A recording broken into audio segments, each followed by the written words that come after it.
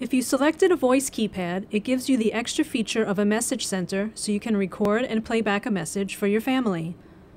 This message can be up to two and a half minutes long. It stays in the keypad's memory until a new message is recorded.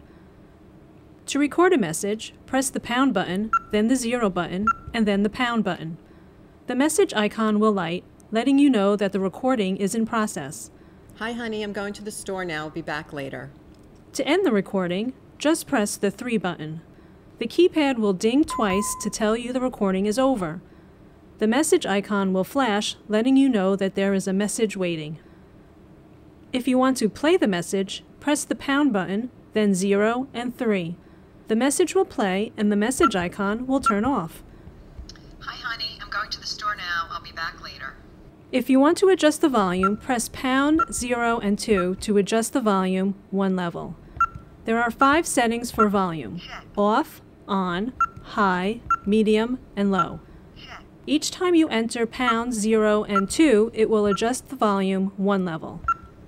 The voice keypad will also announce the alarm status when you arm or disarm the system.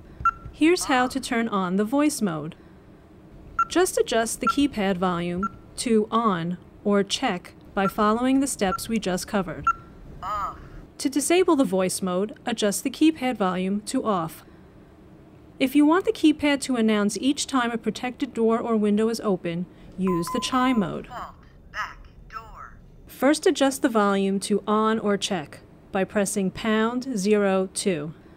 Turn on the keypad chime mode by entering your code and then pressing the 9 button. Once this is activated, your keypad will announce current system status and display any faults. To announce the status, press the pound button, zero button, and star key once. The system status is then announced. Disarmed. Ready to arm. To announce faults, press the pound button, zero, and star, and then the star button a second time within 10 seconds of the first press. Then, the fault zones will be announced. Fault. Back door.